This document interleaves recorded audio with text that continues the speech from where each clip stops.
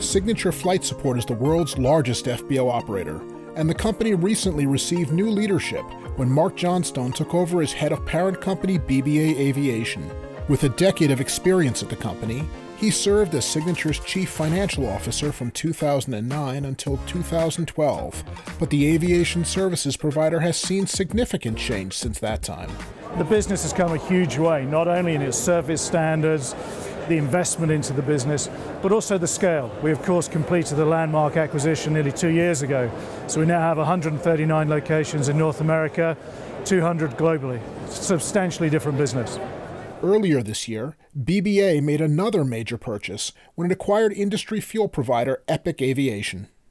Epic brings to the, uh, the Signature family in excess of 205 branded locations, which we will uh, you know, integrate over the coming year and decide how we brand it going forwards.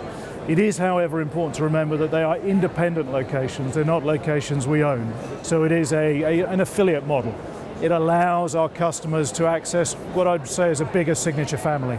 For now, at least, the two companies will continue to operate independently, but there will be some synergies, according to Johnstone. Through Epic, it gives us more data, it gives us co ownership now of our joint credit card, and it also brings more skills on the fueling side, or the fueling expertise, taking our annual purchasing from nearly 300 million gallons a year to almost 500 million gallons.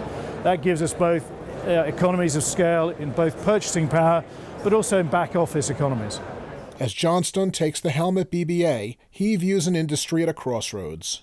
I mean, the good thing in the industry is we're seeing growth. The, the, the downside, perhaps, is we're not seeing as much growth as we'd like. I mean, the, the US is the center of it. Most of the business jets are in the US.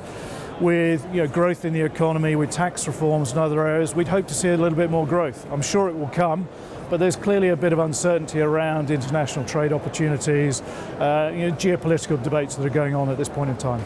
For AIN TV, I'm Kurt Epstein.